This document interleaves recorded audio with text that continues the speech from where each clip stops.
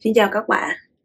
Ngày hôm nay mình xin giới thiệu một bài tập 10 phút vừa để giãn cơ, vừa dùng để thư giãn, nâng cao hệ thần kinh vận động, đồng thời giúp làm nâng cao hệ miễn dịch của cơ thể. Một phương pháp tự nhiên mà để cho cơ thể trở nên có thể tươi trẻ hơn những lúc mà bận rộn ấy, dù không có thời gian tập thể dục hay là gì thì mình cũng phải nhất định phải giãn cơ, ít nhất là cũng phải 5 phút và việc này rất là quan trọng làm cho cơ thể của chúng ta trở nên tươi trẻ hơn mỗi ngày. Vậy thì Đầu tiên, chúng ta thực hiện động tác hít vào, thở ra, hô hấp. Thực hiện 4 lần. Hai lần đầu tiên, bạn hít không khí vào sâu trong lồng ngực, rồi sau đó thở ra. Hít sâu và thở ra. Hai lần tiếp theo, hít sâu vào trong bụng rồi sau đó, thở ra. Hít thật sâu và thở ra.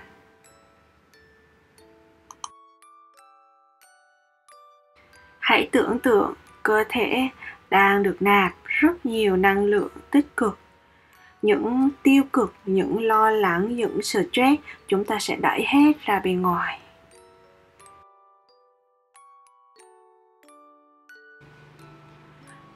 Chuyển sang động tác giãn cơ ở cổ. Tay bạn sẽ đặt vào phía tay bên kia đối diện. Tay còn lại sẽ duỗi thẳng, ngón tay trỏ chạm xuống sàn. Giãn gân cổ. Hít vào, thở ra nhẹ nhàng. Động tác này có hiệu quả đối với cổ bị cứng, vai bị mỏi, thon gọn đường viền của khuôn mặt gương mặt sẽ trở nên thanh thoát hơn rất nhiều. Chuyển sang hướng ngược lại. Đối với các bạn nào muốn giãn thêm cơ vai, lúc đó cánh tay chạm sàn của các bạn sẽ di chuyển ra đằng sau. Và lúc này, cơ vai sẽ được giãn thêm nữa.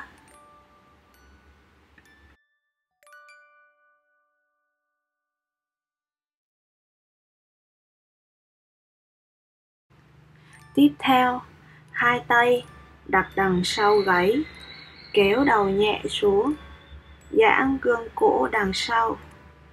Tiếp tục hô hấp nhẹ nhàng, hít vào, thở ra.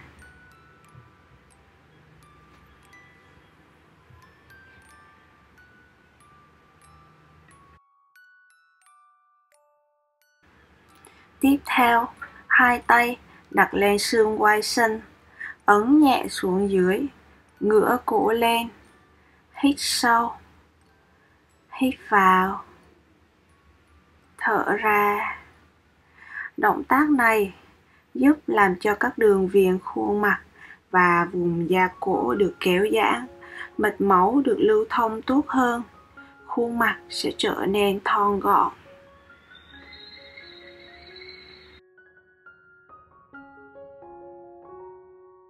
Chuyển sang động tác giãn cơ chân. Chúng ta sẽ duỗi chân trái sang ngang, kéo giãn cơ thể trong phạm vi cho phép của bản thân. Nghiêng sang bên chân đang được giãn cơ và bạn nghiêng người ở mức độ mà cho phép của cơ thể.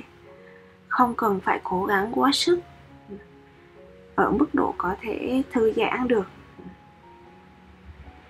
việc giãn các cơ khớp của chân và phần thân trên. Phần eo cũng sẽ được kéo giãn, giúp hỗ trợ thon gọn eo và toàn bộ cơ thể.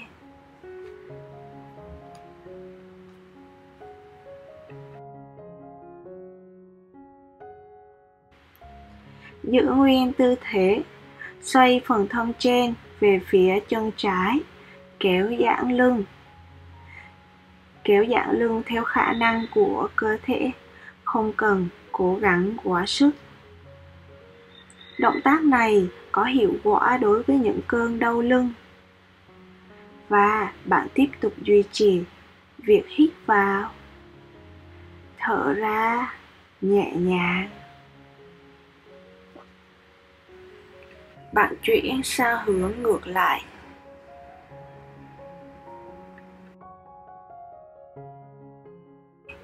Đối với những phần nào của cơ thể muốn kéo giãn, hãy tập trung ý thức vào những phần đó và hít vào, thở ra.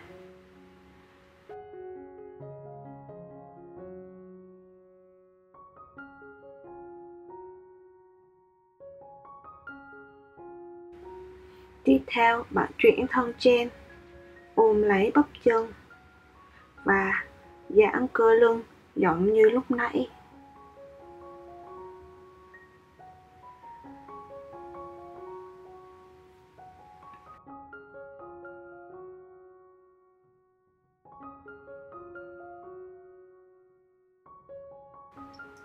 Đổi tư thế sang chống tay và chân xuống mặt thảm. Vừa hít sâu, vừa ngẩng mặt lên cao, mở rộng lồng ngực sau đó, thở ra, đầu cúi xuống. Tầm mắt nhìn xuống rốn, cong lưng lại. Lặp lại, bạn hít sâu, ngẩng mặt lên. Lúc ngẩng mặt lên, nếu tập trung chú ý vào việc giãn cơ ở vùng lưng, sẽ rất là dễ dẫn đến việc là giãn cơ quá đà vùng lưng, gây đau lưng. Ngược lại, lúc ngẩng mặt lên hãy tập trung chú ý giãn vào vùng cơ bụng. Hít vào, ngẩng mặt lên, giãn cơ bụng. Thở ra cong lưng lại. Hít vào, giãn cơ bụng. Thở ra cong lưng lại. Động tác này tập trung kéo giãn tất cả các cơ của toàn thân, hiệu quả hỗ trợ cơ thể thon gọn, tốt cho việc giảm cân. Tiếp theo, đặt mông lên vùng gót chân. Rồi sau đó, hít thở nhẹ nhàng, thư giãn. Vào lúc này, hãy hình dung bạn đang kéo giãn vùng da dưới nách. Kéo giãn nhẹ nhàng, không quá sức vùng da dưới nách vùng da này sẽ được kéo giãn ra.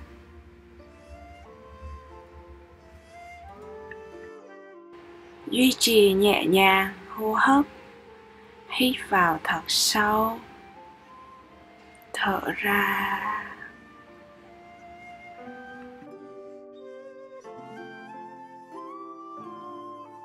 Tiếp theo, giữ nguyên tư thế, nâng mông lên trượt hai cánh tay về phía trước. Bạn kéo giãn nhẹ nhàng vùng cơ lưng và chú ý duy trì hô hấp. Hít vào. Thở ra.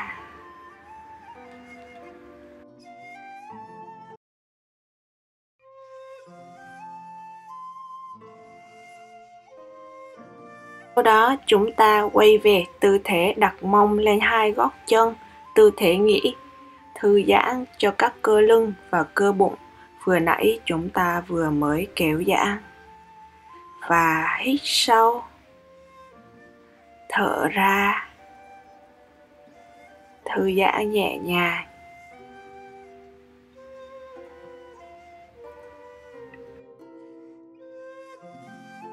Chúng ta chuyển sang tư thế nằm ngửa. Bạn nhấc chân lên, dùng hai tay ôm lấy bắp chân giãn cơ mông và đùi, kéo chân ở mức đau nhưng mà có thể chịu được, đau mà ở mức nhẹ nhàng và cảm thấy thư giãn. Bạn sẽ cảm thấy cơ đùi và mông được căng ra.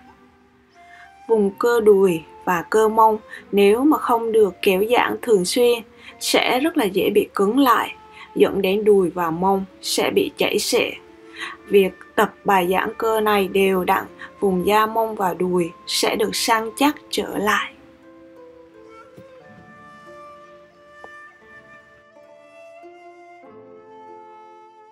Đổi sang chân bên cạnh, chúng ta vẫn duy trì hít thở. Hít vào thật sâu, rồi thở ra.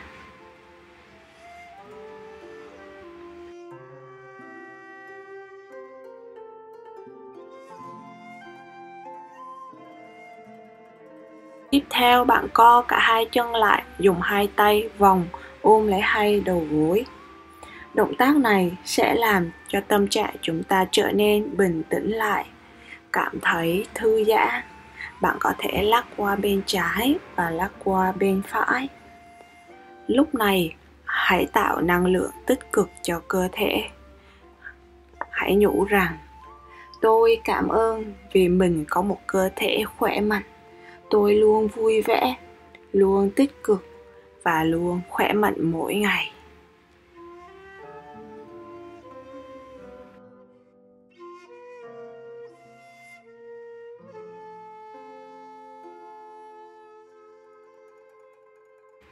Chuyển sang động tác tiếp theo, một chân sẽ gác lên đùi, tay sẽ giữ vùng đằng sau đùi và kéo đùi lại gần ngực.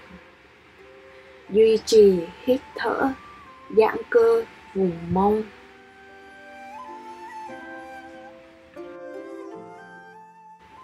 Bằng việc giãn cơ mông sẽ có hiệu quả với những cơn đau lưng bởi vì dây thần kinh ở mông và lưng được liên kết với nhau.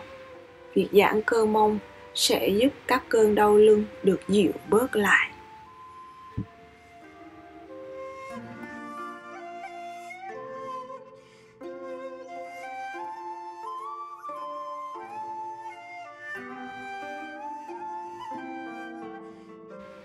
Ta đổi sang hướng ngược lại.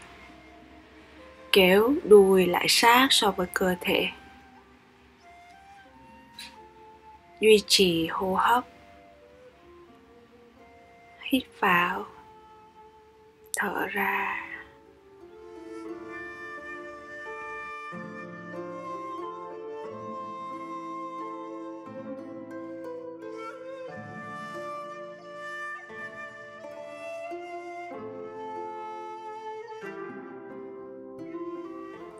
Tiếp theo, nghiêng người sang bên cạnh dùng tay nắm lấy mũi chân kéo sát lại gần mông. Giãn cơ vùng đùi trước. Những bạn có vùng đùi to khó giảm mỡ đùi. Một trong các nguyên nhân là cơ đùi trước sẽ bị phồng và bị to ra. Việc thực hiện động tác giãn cơ đùi này sẽ có hiệu quả hỗ trợ làm thon gọn đùi. Đổi sang chân bên cạnh kéo giãn cơ đùi trước